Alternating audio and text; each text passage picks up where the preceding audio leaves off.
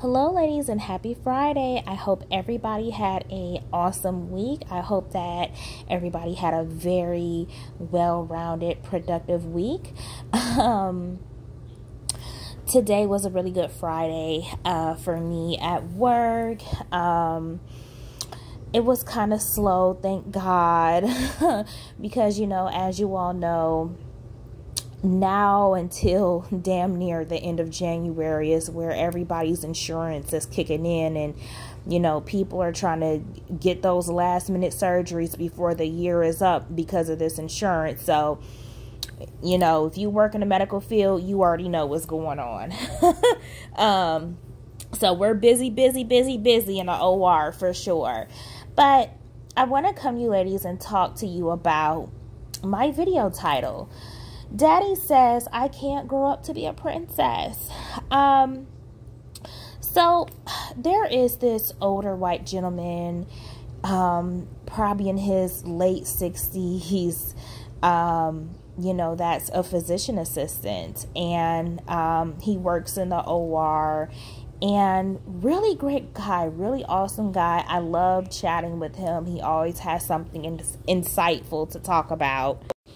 So, you know, it was kind of like a group of us. We had a little bit of downtime and everybody was just kind of chatting, you know, uh, in between cases and whatnot. And they got on the subject of children because, I mean, a lot of people I work with, you know, of course, have children and, you know, they love to talk about their kids a lot at work and everything like that. You know, like the basics, um, packing lunch, uh, school schedules, things like that. Now, he was talking about um, his son, um, his son and and his wife, you know, have a little girl, and um, you know, he was just really saying how you know these kids nowadays are just really spoiled.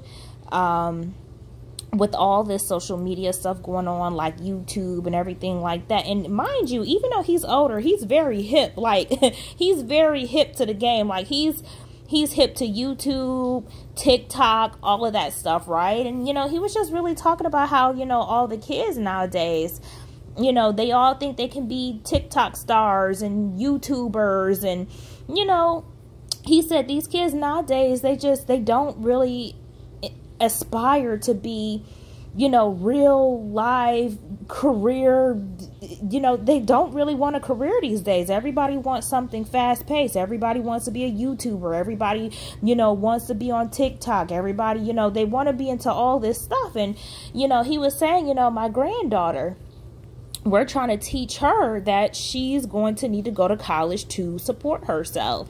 And you know my son you know uh he you know this is how he talks. You know he was saying you know my son you know he tries to and so does her mother. You know they both try to instill in her all the time that you know listen you know in this in this world sweetheart i'm sorry but you can't grow up to be a princess honey. Now this is a guy who is a physician assistant. He comes from a line of doctors himself. His son is actually a, a doctor um, he just happened to go the physician assistant route. But yeah, his son is actually a doctor, and um, his wife um, works in the medical field as well. I believe she's a nurse practitioner or something like that. But uh, trust and believe, she's getting money as well. Okay, they, you know, they getting money.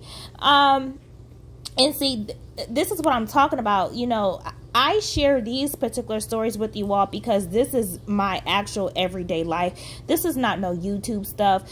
I tell you all information that I come face to face with every day going to work and working in surgery. And I'm trying to tell y'all these doctors and physician assistants and these men that's making three, four hundred thousand dollars a year, they are not raising their kids to be princesses. And you know, uh, his son, you know, was you know telling him, you know, telling the father, like, you know, I really need to get the, you know, get this child into some shape because she told me that she told me that, Daddy, I want to grow up to be a princess, and you know, she's young or whatever, but um Okay, sorry about that, ladies. My uh, voice recorder actually cut off. But like I was saying, you know, she's still, you know, she's still a young girl, but, you know, uh, his son and him, you know, they were just talking about how, you know, uh, see, we believe that she's getting that idea because of television and maybe stuff that she sees. And now he was saying that even when he babysits her or while she's at home with her parents, they try to limit what she watches on YouTube and television, period. Because, you know, his son was actually saying to him, this is what he was telling us, by the way. His son was saying that, you know, she's going to she's going to damn college and that's final. She is going to damn college. She's not doing anything else. She is going to damn college. You know, me and my me and me and her have worked way too hard for her to you know grow up to grow for her to grow up and believe that she can live off her parents or that she doesn't have to work or she doesn't have to work for what she wants or have to do anything. You know me and her have we're in you know we have worked hard and put ourselves you know in in debt and paying off our debt in order to have this type of lifestyle to provide for her. And she's gonna have to she's gonna have to learn. And i want y'all i'm telling y'all this because y'all listening to a lot of these women on YouTube that have no clue about career oriented people. I'm telling you from experience, you know, I've been in healthcare for seven years. These are the type of people. These are the type of people that I'm around all the time, five to seven days a week for seven years. I I know these these type of men very well. I work with them. I don't know anything um, outside of not working with a lot of male physicians. And I'm trying to tell you this as a person who has a career working in surgery. Um, and hey, going to be a future MD myself. Um, you know, these class of people, they believe in working for what you want. Um, so, you know, you really have to have a certain mindset and value education because you know, this was a perfect example. They are not about to, you know, sit up here and let her believe that she's just going to be a pamper prince, a pamper princess when she grows up. They're trying to get her out of that. So they're doing changes. They're watching what she consumes on YouTube. Uh, no more YouTube or less YouTube, less television, less this, less that. Um, because he said she's for damn sure going to college because they have already set that child up a college fund okay? They believe in education and this is what i'm trying to get y'all to understand. You cannot listen to people on youtube that have no career. They've never went to school a day in their life. They have no college foundation. They have no uni- no type of university foundation and they have never even been around people like this in these type of careers to tell you anything. I've been around these people for 7 years and this is all I know. Okay, nobody's out here teaching their children to be pampered princesses. And you know, she's a little girl, so you know, little girls are going to want to be princesses and that's perfectly normal.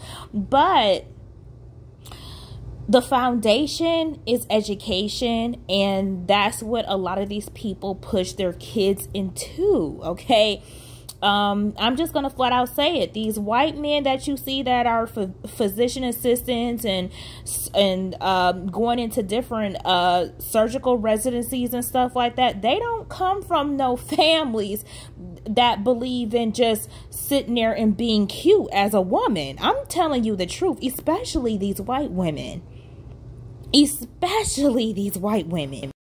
You know, again, education is the foundation. Um, these men and women that you all think is just higher echelon and ooh, they're doctors and got money, and I bet she gets to go on a shopping spree because she's married to a doctor. Ah, no, no, no, no, no, no. It's not like that. It's not like that. Okay.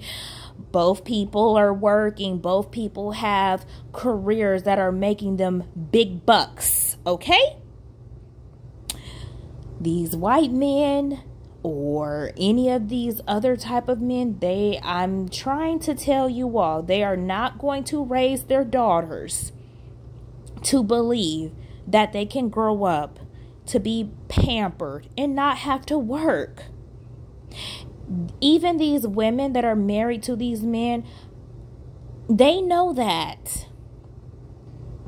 These women, even if they're stay at home moms, you better damn believe I bet you they could run circles they could run academic circles around a lot of people and, and they could probably do damn near the, the same thing that he's doing she's married to a brain surgeon i, I bet your bottom damn dollar that I, she's probably working part-time somewhere running her own private practice okay?